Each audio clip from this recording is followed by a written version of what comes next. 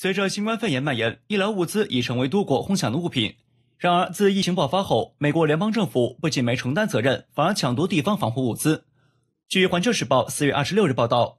多家美国媒体报道指出，地方医院不仅需要自己设法找到购买个人防护用品的途径，而且在交付定金后，往往还需要和联邦政府斗智斗勇，摆脱他们在物资运送过程中的围追堵截。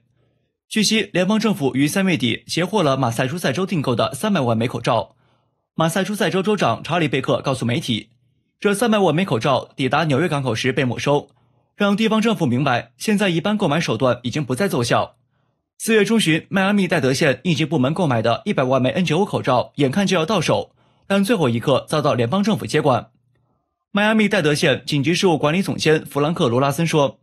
这一百万只口罩原本是要拿去保护一线医务工作人员的，联邦政府的行为简直就是半路抢劫。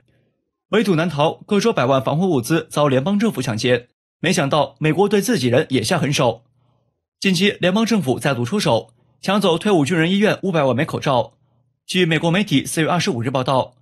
一位美国高级官员透露，为保护国防部医院和诊所工作人员免受新冠病毒威胁，美国退伍军人事务部订购了五百万枚口罩。但这些口罩被美国联邦应急管理局以国家战略储备的名义取走了。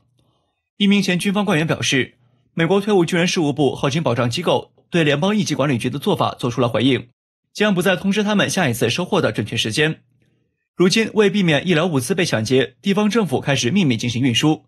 据了解，不久前，伊利诺伊州斥资1.74亿美元进口防疫物资，包括呼吸机、洗手液、防护服和口罩等。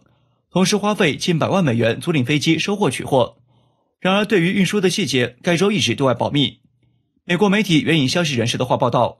州政府担心联邦政府以保障国家医疗物资供应为由拦截订单，因而悄悄推进相关工作。